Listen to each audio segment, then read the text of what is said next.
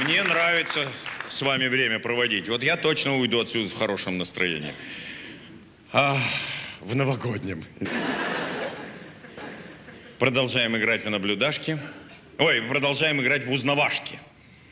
Такой лирический рассказ о современной счастливой любви.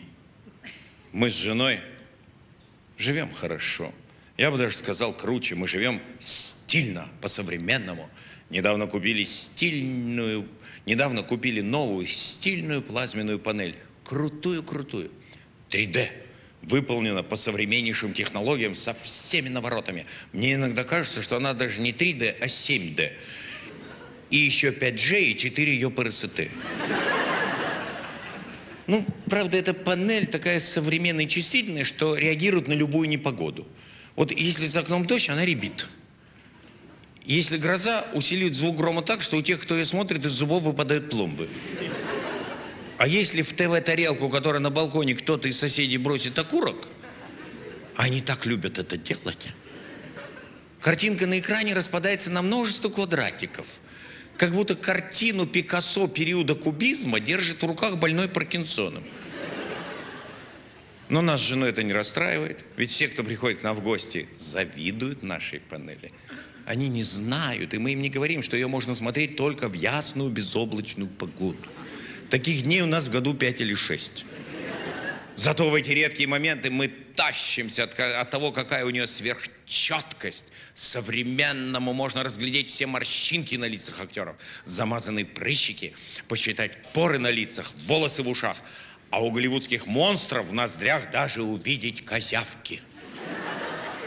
Ой, а молодежь нравится так, эта четкость. Ой, козявки, кози- смотри, смотри, восемь волосинок видно у нее.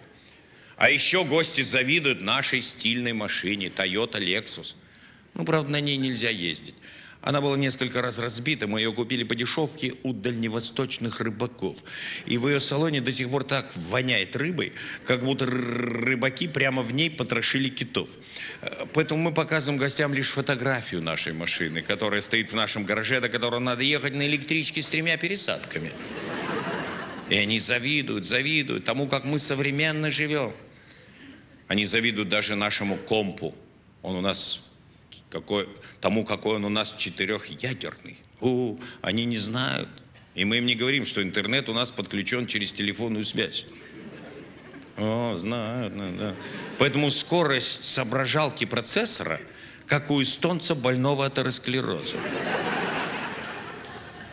Но все равно я с гордостью, с гордостью рассказываю гостям о своей страничке ВКонтакте. О том, что у меня там более 300 друзей. Правда, 200 из них я не знаю. Остальных и знать не хочу. После того, как они под моей записью «Сегодня разбил машину», поставили свои лайки. Дом стильный. Гости называют наш дом «умный дом». И завидуют даже нашим умным итальянским дизайнерским выключателям. О, они срабатывают на хлопок. Но их ставили гастарбайтеры из Средней Азии. Причем из очень Средней Азии. Как-то не так подключили, и теперь эти выключатели отзываются на кашель и на чих. Поперхнулся, свет включился. Подавился, выключился. Поэтому мы стараемся больных, чихающих гостей к себе не приглашать. А когда чихаем сами, предварительно обматываем голову полотенцем или засовываем в рот кляп. Завидуют, завидуют гости нашей квартире, дизайнерской кухни. Она очень стильная. И мы с удовольствием рассказываем им о современнейших кухонных наворотах и, как теперь говорят, опшенсах. У нас на кухне есть даже кулер, пурифайер и дистурбатор. Вот.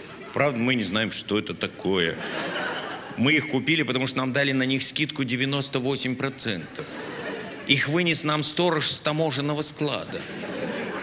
Он же выписал на эти агрегаты личную гарантию на своем рецепте, который ему выписал врач-психиатр. И холодильник у нас супер дизайнерский. О, на дверце коллаж из картин Дали и Босха.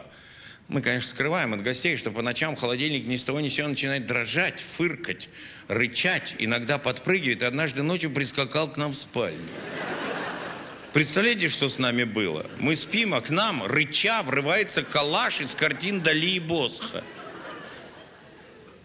Конечно, всех впечатляет наш стильный антикварный будильник. Как сказал нам сторож, который вынес его со склада, о, этим будильником пользовался сам Будда. Когда один из гостей узнал стоимость будильника, сказал, что за такие деньги он бы сам мог быть Буддой и приезжать к нам будить по утрам. И, конечно, в спальне всех восхищает итальянская брендовая мебель. Очень дизайнерская. Женщины все без исключения восклицают, о, если бы у меня была такая кровать. Видимо, у них рождаются эротические фантазии. Они не знают, что кровать собрана белорусами в Польше из армянского гипсокартона. Поэтому лежать на ней надо очень осторожно и стараться не шевелиться. Впрочем, мы давно женаты. Странно, что дальние ряды молодежные реагируют на это. А еще мы приводим гостей в нашу дизайнерскую ванну. Плитку в ней клеили молдаване. Поэтому мы ее называем между собой молдаванная. Да и вам так надо это называть. Краны и душевые насадки выполнены по современнейшим нанотехнологиям. Они насыщают воду ионами, электронами и пимизонами. Да, пимизонами. Потоки которых, как сказано в инструкции, увеличивают потенцию и размер груди. Правда, в инструкции не уточняется, чьей груди. И за три года потенция увеличилась почему-то у моей жены, а у меня, к сожалению, только грудь.